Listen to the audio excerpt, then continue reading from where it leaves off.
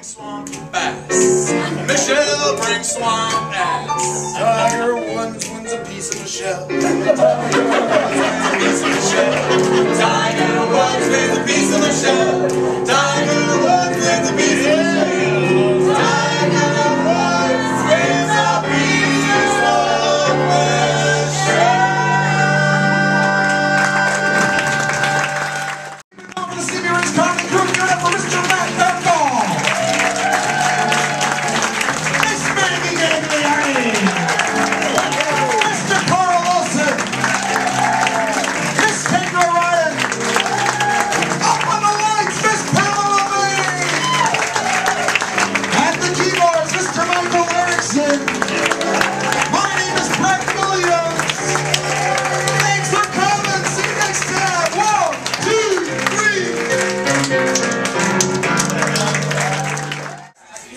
Right, I'm Carl Olson with Stevie Rays. Tell me, how long have you been doing improv? Um, on and off for about 20 years. I've been with Stevie Rays in previous times, probably a total of about six, seven years. Is comedy, you do a lot of comedy or theater? I do. Um, I've done more comedy than theater. Um, I've done a lot of stand-up comedy in the past. Um, primarily, I do improvisational comedy. That's my. Uh, this is my primary thing right now, anyway. Where are you from originally? Willmar, Minnesota. Hi, I'm Kendra Ryan. How long have you been doing improv? Um, about a year or so. I did the Christmas show here at Stevie Ray's in Chanhassen Dinner Theater, and then signed on to do the summer show as well. What is your background? Theater, theater. I studied philosophy in college, about as useful as a theater degree. So I figured, why not try something new? Um, but I do. I, I'm a working actor in Minneapolis. Brett Williams. How long have you been doing improv? I've been doing this for 10 years. What is your background?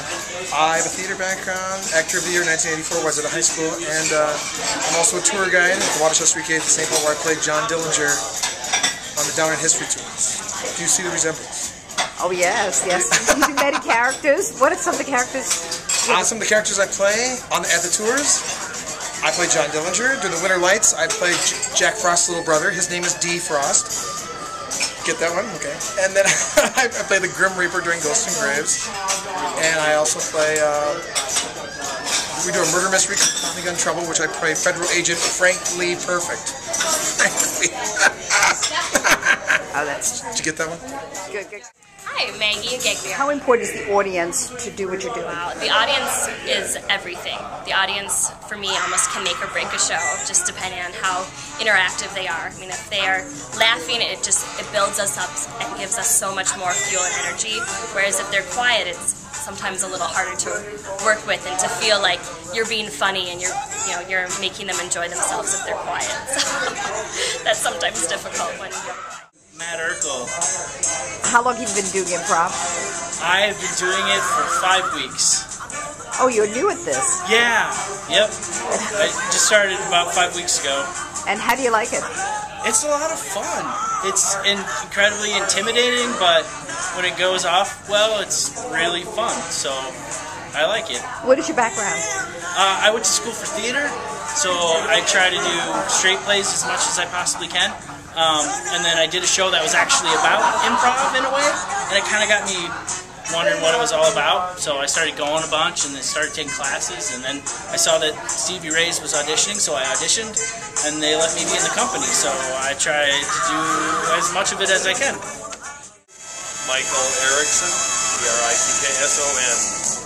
And you are the musical director here? Sure, yes. And also The host. the host.